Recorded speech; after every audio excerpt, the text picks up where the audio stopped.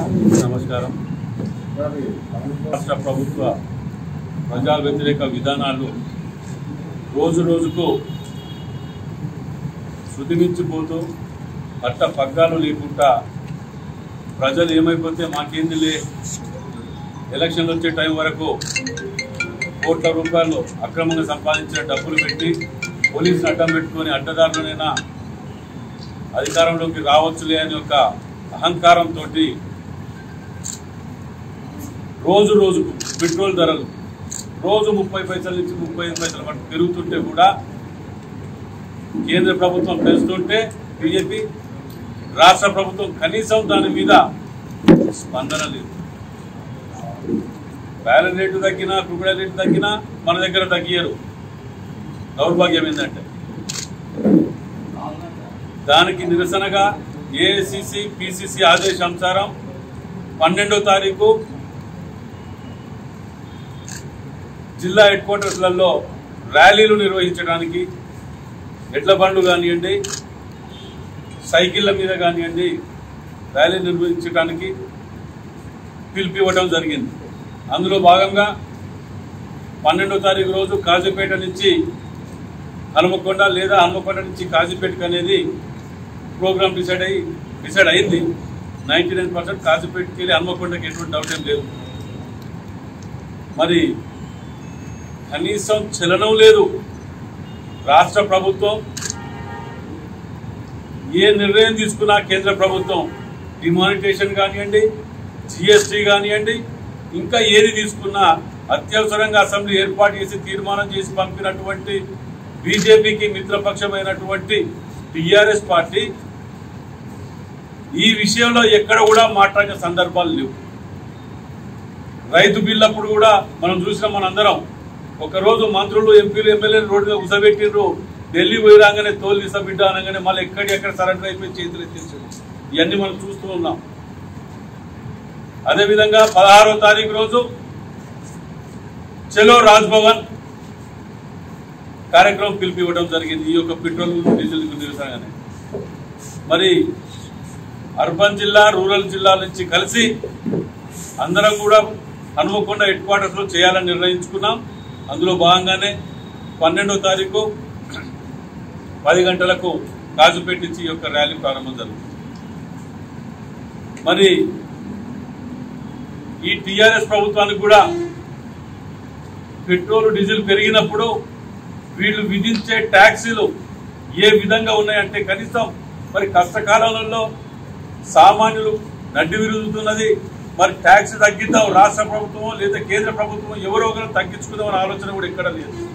పైగా వీళ్ళు మాట్లాడతారు అరవై ఏళ్ళ పాలన కాంగ్రెస్ ప్రభుత్వం ఏం సాధించింది వాళ్ళ ప్రతిఫలం ఇవ్వాలి ఇది అని దాటివేసే దారిలో మాట్లాడటం బాగా అలవాటు అయిపోయింది వీళ్ళకు. మేము గర్వంగా చెప్పుకుంటున్నాం ఇవాళ అరవై ఏళ్ళలో అరవై రూపాయలు ఏ రోజు కూడా దాటలే పెట్రోల్ డీజిల్ ధరలు. కానీ ఏడేళ్ళలో వంద దాటి వంద రూపాయలు దాటించిన చరిత్ర ఈ యొక్క టీఆర్ఎస్కు బీజేపీకి మాత్రం మిగిలింది. వీళ్ళు ఏదో గల్లీల దోస్తీ ఢిల్లీలో ఢిల్లీలో దోస్తీ గల్లీల లొల్లి అనే సంగతి మనం వింటున్నాం. రెండు రెండే. వీరు ఎప్పుడు ఎట్టి చెట్టు తిరిగి ఎటు కలుపుకున్న ఆశ్చర్యమైన విషయం ఏం లేదు వీళ్ళ దగ్గర. ఇక రేవంత్ రెడ్డి గారు ఛార్జ్ తీసుకున్న తర్వాత ప్రతి వారం కూడా ప్రతి వారము రివ్యూ చేసిన ప్రోగ్రామ్స్ మీద చేయబోయే ప్రోగ్రామ్స్ మీద రివ్యూ తీసుకుంటూ పూర్తి స్థాయిలో గ్రామ కమిటీలు మండల కమిటీలు డివిజన్ కమిటీలు ప్రతి ఒక్కటి కూడా ఎక్కడెక్కడ ఏమైనా ఖాళీ ఉంటే కూడా పూర్తి స్థాయిలో ఫుల్ఫిల్ చేయమని చెప్పి చెప్పడం జరిగింది.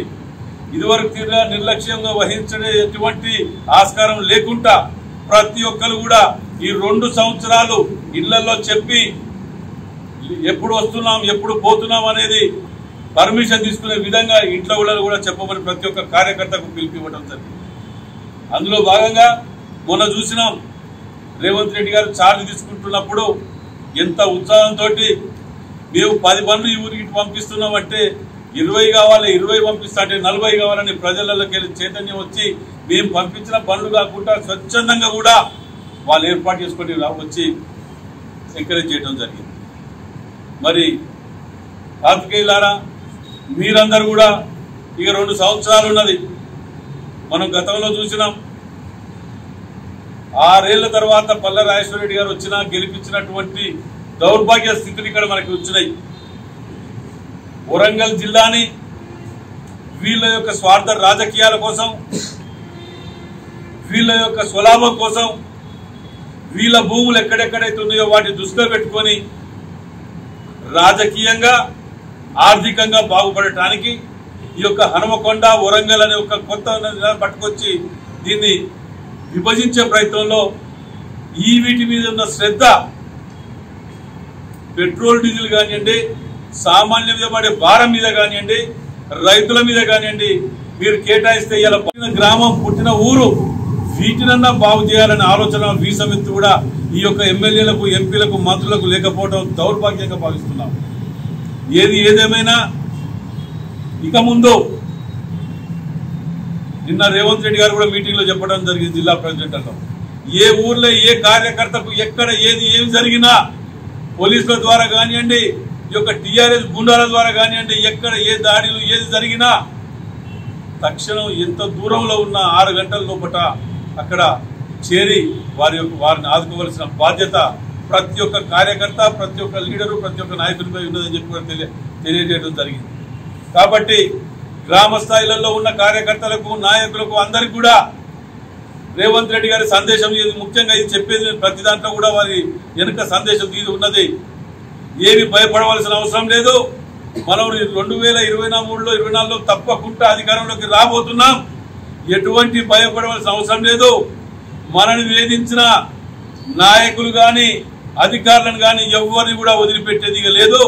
అందరం కలిసికట్టుగా కంకర కంకరబంతులై కట్టుకొని ఈ రెండేళ్ళు నిద్రపోకుండా కాంగ్రెస్ పార్టీ కోసం కష్టపడి పనిచేయవలసిన బాధ్యత ప్రతి ఒక్క కార్యకర్తపై ఉందని చెప్పి మనం చేస్తూ ఇది మొదటి program petrol diesel program. Revanth Reddy గారు వచ్చిన తర్వాత.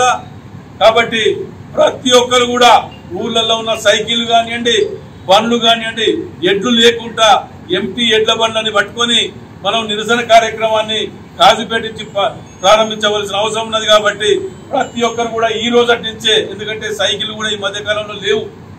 అంటే చాలా మటు తెర అయిపోయినా ఏమైనా ఉంటే ఎక్సర్సైజ్ కోసం చేసుకోవడానికి ఇట్లా కొనుక్కుంటాను తప్ప ఇది లేకుండా తెర మెరుగైపోయినాయి కాబట్టి టాంగాలు దొరికితే టాంగాలు ఎడ్లు దొరికితే ఎడ్లు సైకిల్ దొరికితే సైకిల్ ఎవరికి చాతరైన విధంగా వాళ్ళందరూ కూడా కాజుపేట హెడ్ క్వార్టర్కు రావాల్సిందిగా మీ ద్వారా మనవి చేస్తున్నాం. రజనీకాంత్ గారితో మాట్లాడు. సార్ నమస్తే. నమస్తే నరేష్ గారు. కామన్ మ్యాన్కి వచ్చే క్వశ్చన్ మీరు అంటే నాలుగు పిల్లర్లు అన్నారు కాబట్టి నాలుగు పిల్లర్ల పైనే బంగ్లా బాగా నిలబడుతుంది. దాన్ని కట్టడం చాలా పటిష్టంగా ఉంటుంది అంటారు కదా మరి. అట్లా పని చేయదంటారా అది? అంటే ఇది ఈ ఎగ్జాంపుల్ ఏదైతే మీరు చెప్తున్నారో ఇది వేరే సందర్భాలలో వేరే ఆ, ఒక ఒక- వ్యవస్థను కంపెనీని క్రియేట్ చేసే విషయంలో కానీ ఒక పనిని ఒక ప్రాజెక్ట్ని హ్యాండిల్ చేసే విషయంలో టీం వర్క్ అనేది చాలా పనిచేస్తుంది. కానీ రాజకీయంగా వచ్చేసరికి ఏమవుతుందంటే ఈ పాలిటిక్స్లో టీం వర్క్ అనే దానికి టీం వర్క్ ఎలా చేస్తారనే దాని మీద డిపెండ్ అయి ఉంటుంది. ఇప్పుడు ఈ నాలుగు పవర్ సెంటర్స్లో మనం ఆల్రెడీ చూస్తున్నాం కాంగ్రెస్లో పతనమవుతున్న కార్యక్రమంలో ఈ గ్రూప్ రాజకీయాలే మేజర్ డామినెంట్ రోల్ ప్లే చేశాయి. ఏ రాష్ట్రంలో అయినా కానీ